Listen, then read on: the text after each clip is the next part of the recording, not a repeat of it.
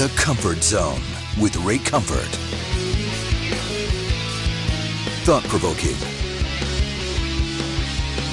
informative, engaging. Are you ready to be inspired and equipped?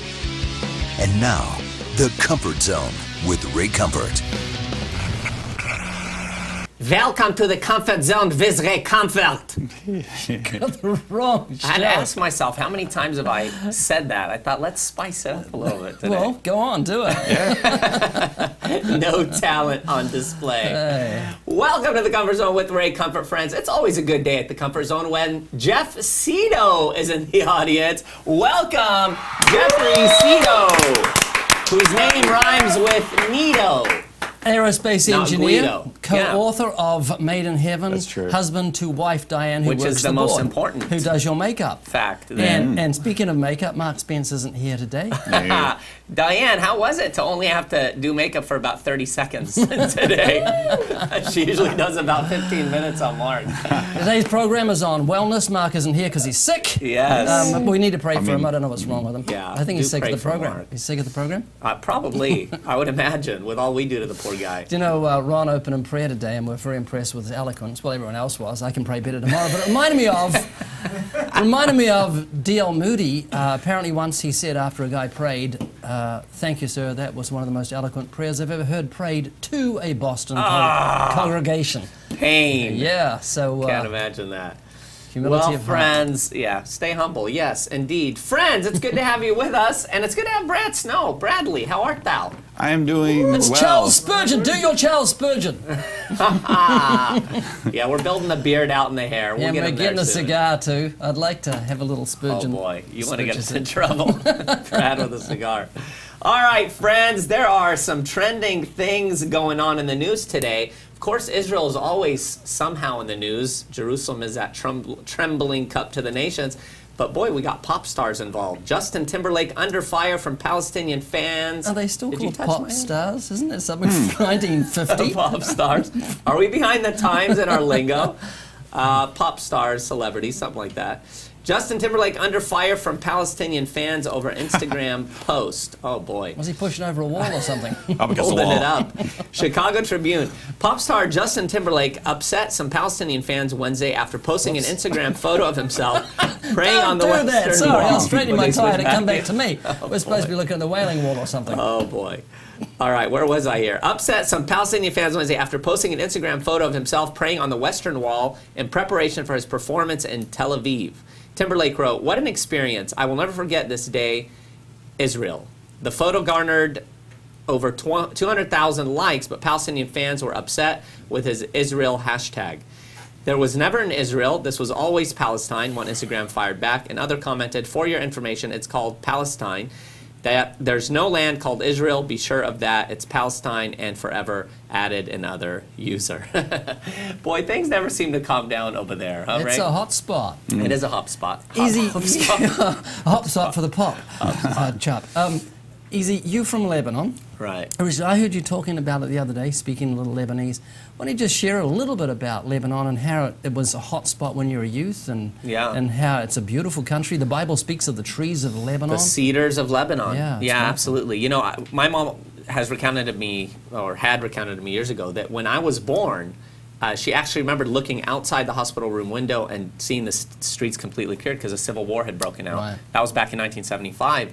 And uh, from there, uh, war raged for I think about 18 years. 18 and uh, 18 years. years nonstop. You know, just millions of lives lost uh, over those years. so, what was the war over land?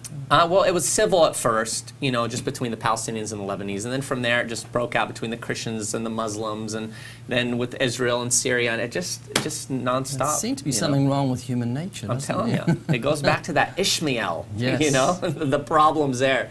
Uh, but you know, this is an issue. But Brad, I want you to speak to this because it seems that with political correctness today, uh, you can't get away with anything. People have an issue over anything that's said. I don't know about that. That's wrong. Oh, okay. And we see it transferring over to how Christians are impacted as well. We don't want to get into the minutia of this. This is something that's been raging forever. But just a general principle of uh, just the whole political correctness, where even Christians now are being penalized for speaking their conscience in regard to their faith. Go. Oh, well, okay. I think, you know, I, I, one thing I thought that stood out to me is the power of hashtag. I mean, you put a hashtag in front of something and uh, you're going to offend somebody. I still have no idea Brad, what hashtag please tell means. me. I was going to say, I, I hear it all the time.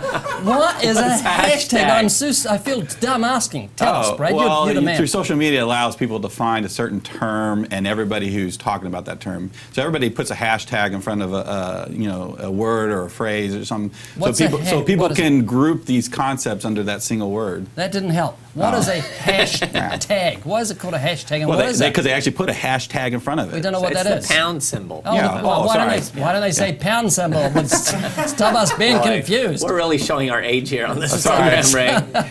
A hashtag sound like marijuana or something. Yeah, all the cool It's a people pound just sign. I, got a, I got a hashtag here. all the cool people just left the program. We don't know what hashtags are. Yeah. Go ahead, Brad. Well, Sorry. and I, you know, it's interesting enough. He did not go back and try to change it to smooth it out. Uh, the, you know, obviously there was a, a, a controversy over his choice of referring to the Holy Land as, as Israel. And uh, you know, you do get that a lot. You know, with celebrities trying to smooth out their words so they're uh, more broadly accepted. Uh, and as Christians, we don't have that opportunity because we're uh, bound to the uh, truth of God, and it's not an option for us to try to smooth out the, the things that we know are true because God has revealed it to us through His Word, through His Spirit. And uh, so, I think as Christians, we find ourselves in trouble a lot of times because of the fact that we uh, are submitted to the truth that is uh, uh, from God Himself. Right. Well, that Yeah. was a good bit of minutia there. Bagging on my minutia choice of words, Ray. What's minutia? Oh boy, can't get away with anything on this program. Yeah, friends, you know, look, here's the thing.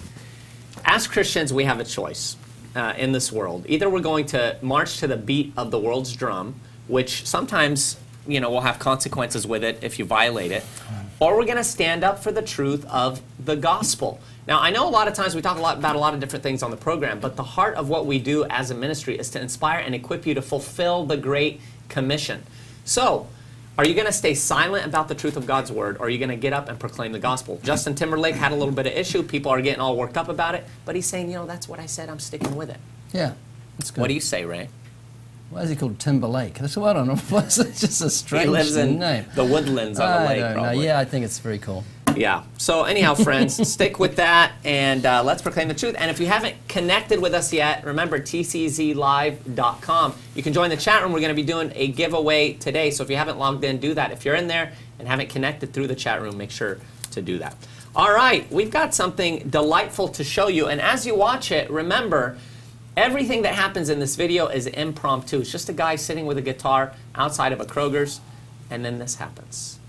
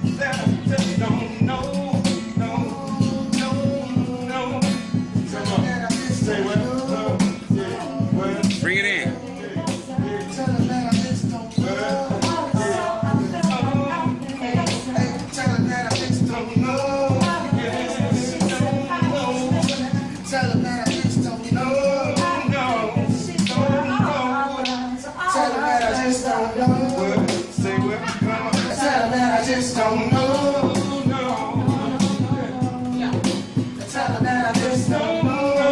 no, no. Look, look, see. Now I don't know what's going on, but I'm trying to figure it out. I'ma just hold it up, high, and if I do that, then I might make it out alright. And if I don't, well, I'ma just try to sleep tonight. And if I can't, then I'ma just get down on my knees and pray that he can take care of me and make everything all great and be. Okay? Well, then I guess it's just something that I gotta do to keep it to me and you. And if you don't understand, then I'ma say it again. Hey, sometimes I just don't know. That's the sort of thing you'd do. Look, it said jam oh. session here. I thought we were going to see some toast and butter and a little mm. bit of mm. apricot. You know what, Ray? That video's got over 14 million butter. views on YouTube. Oh, you're so no, that guy's sitting there with his guitar, just doing his thing. The first guy walks up, starts singing. The other guy walks up, starts rapping. They're going on talk shows. They were on, I think, Jimmy Kimmel and and uh, they're doing a CD now. And Huh. so we should do that, Ray. Get out there You with the yarmulke do and the turban. Yeah. Walk up on Oh. Lie, lie, lie, lie, lie, lie, lie, lie, lie, lie. They'll throw in some raps and rhymes. Jeff can beatbox. What do you think, Jeff?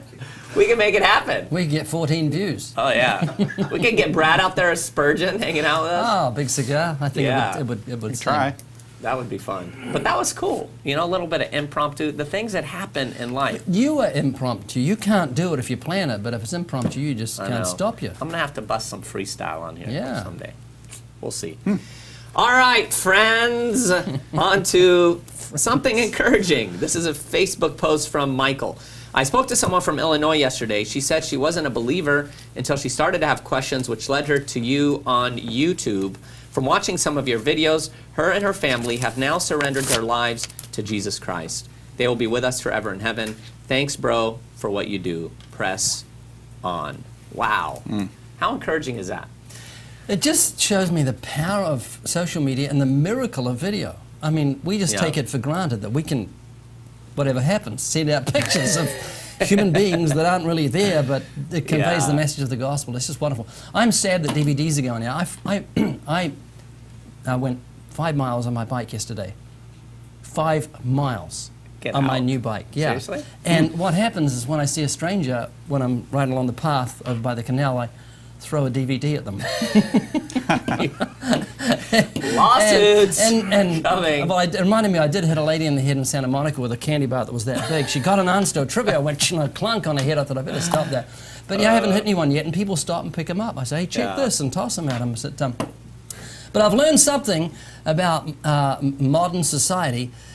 You can yell your head off till you're blue in the face when you're coming 20 miles down your bike at a guy who's on the path and he doesn't move because he's got his little earplugs right. in. Everyone And he's grooving and he's got his back to you. And if he steps to the left, you're both dead almost. Right. And you cannot alert him you're coming. I think how many people running on the road get killed because they can't hear cars coming. Yeah. I heard another lady recently, just she was out running, run by a car. No doubt she had the little plugs in. It's crazy. It is you should wear the Google Glass and show us your adventures on the Oh, bike. that would be That'd be something to behold. I would Yeah, love to do that. that. It's. Uh, I don't think you guys keep up with the speed. Uh, you're right. A lot of, lot of pixelating.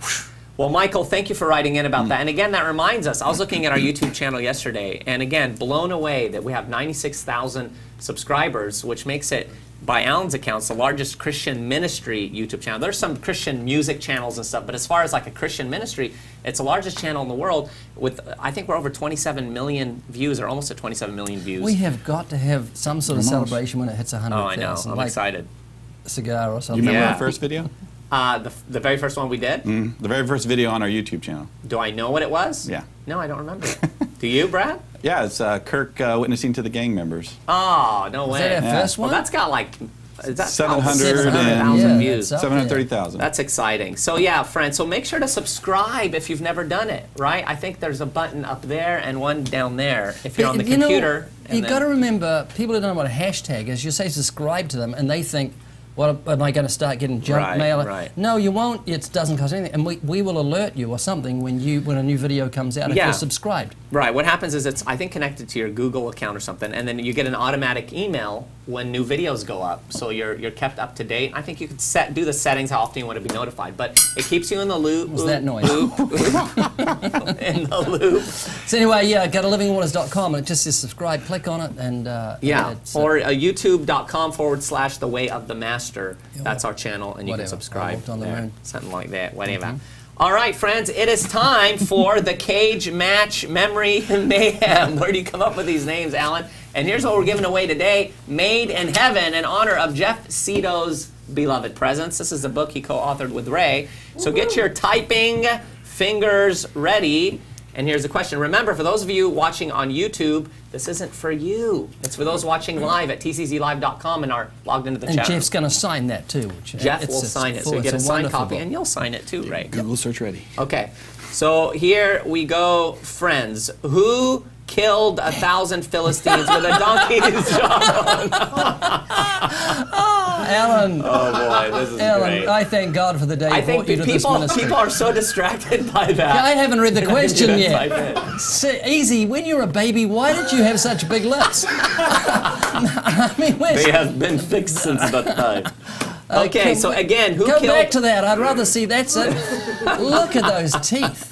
What a great invention Oh, that boy. was. What a brilliant thing to do. All right, friends. So get your answer in. The first person to answer will win, and we will ship that out to you as well. What was the question? I don't know. Who killed a thousand Philistines With his teeth. a uh, jawbone of a donkey? All right, now something for you to check out. Let's roll it.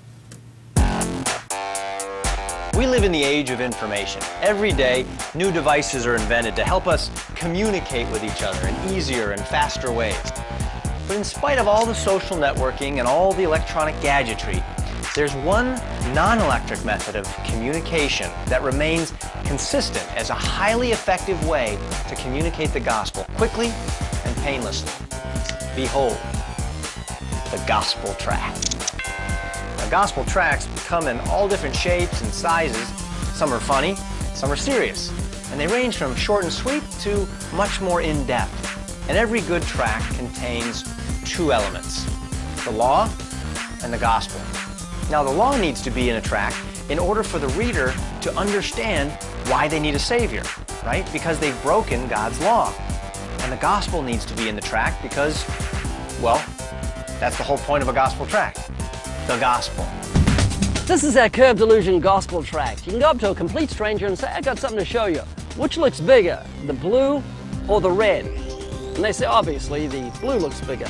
You swap them over, and the red becomes bigger. It's not magic, it's an optical illusion. It really is amazing. People love it. You say, hey, make sure you read the message on the back. It's just another creative way to share the gospel.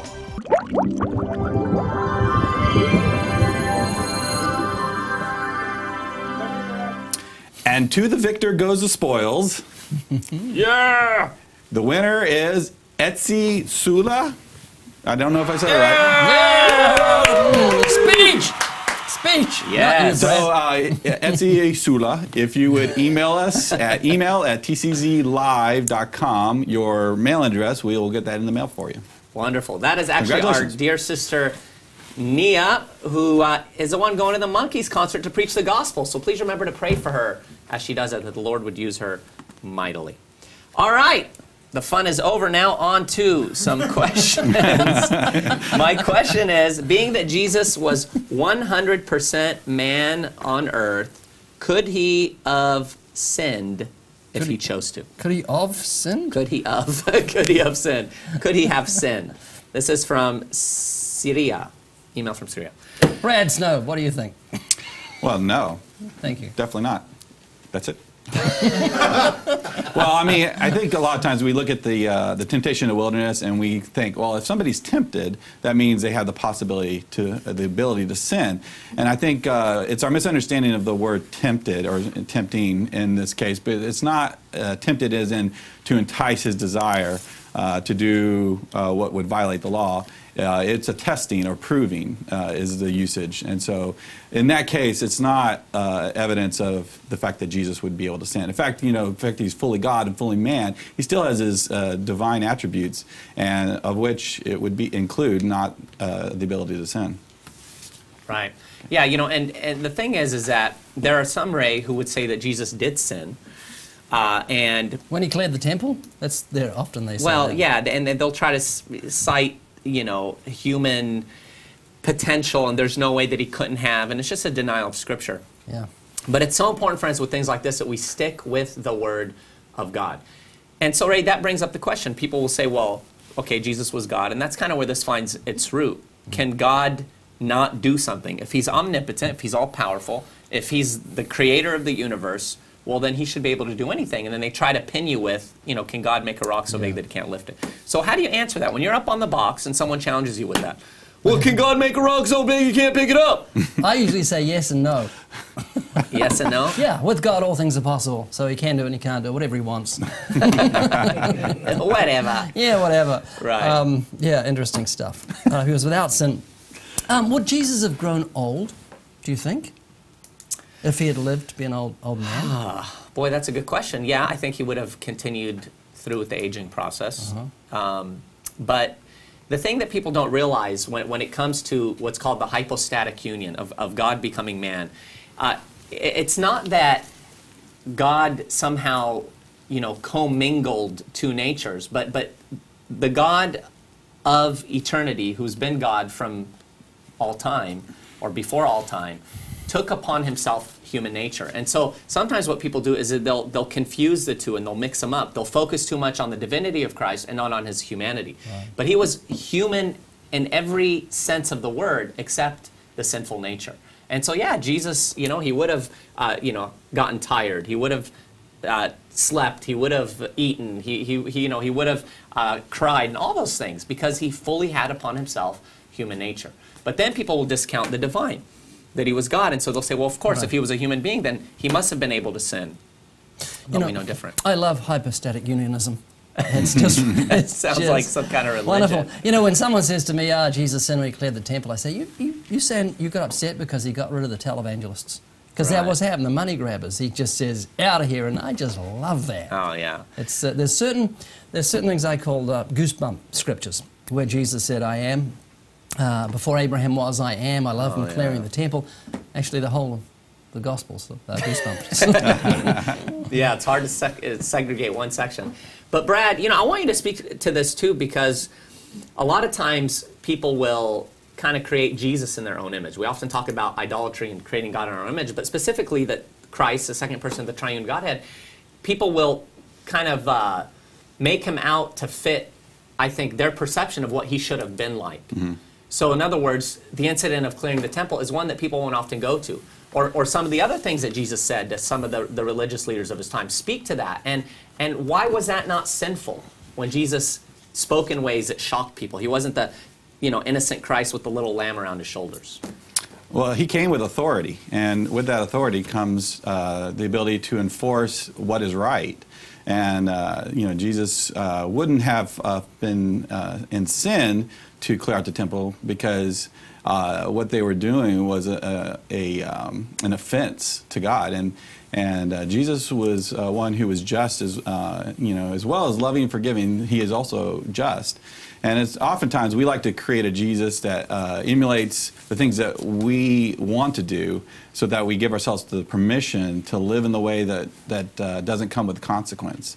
And it allows us to uh, live uh, without uh, concern that we would offend God or uh, receive justice for the way we, we choose to live. But if we look to the God who is nothing like us and who demonstrates uh, his, uh, his justness as, as well as his mercy, then we find ourselves needing to submit to him and his will and his truth, and which comes with a need to repent of our sin and to, to depend on his uh, mercy that he demonstrated uh, and fulfilled on the cross so that we can be forgiven of those sins and, and become something new, uh, given a new nature with a new heart and desire, and become more like uh, God in his mind and on these things.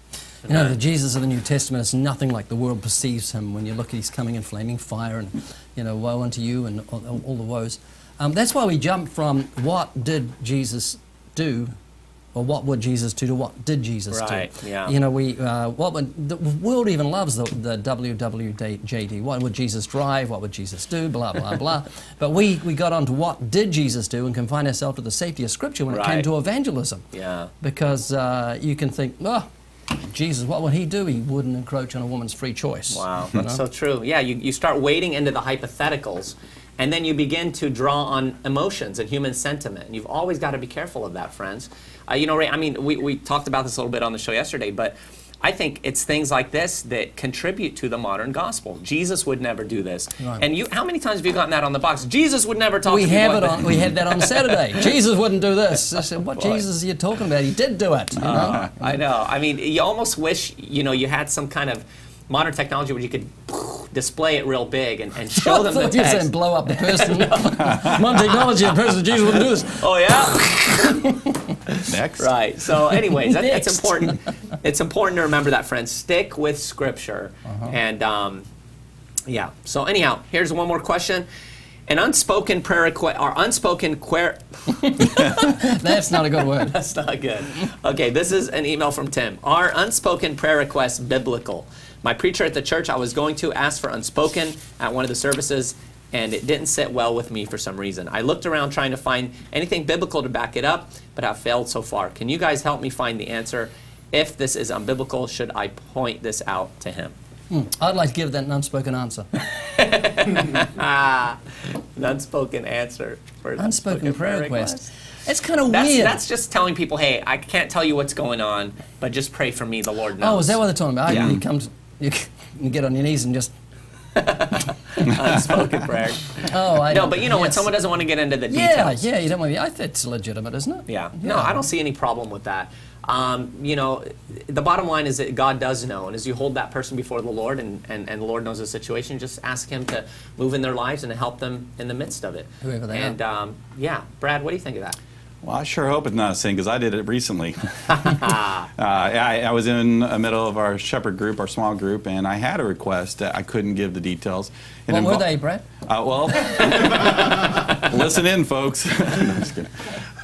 Uh, you know, and and uh, you know, I wanted prayer for this, but I really uh, was bound to not be able to give the details. Oh, it's those warts. Yeah. no longer. unspoken warts.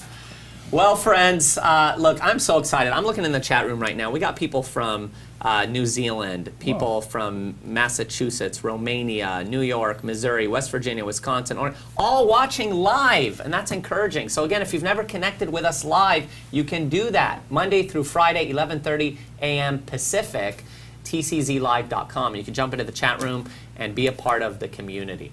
And always remember, you can connect with us through Facebook. Look us up by name Emeal Zwayne, Mark Spence, Ray Comfort, Brad Snow, and whoever else you'd like. Harass Alan Atsby. Look him up too. Oh, yes. All right, friends, and uh, also remember to subscribe to the channel. 96,000 people. Help us to get to 100,000 and spread the word. And most importantly, remember, we brought you into our comfort zone to get you out of your comfort zone. So get out there and proclaim the gospel unto the glory of God.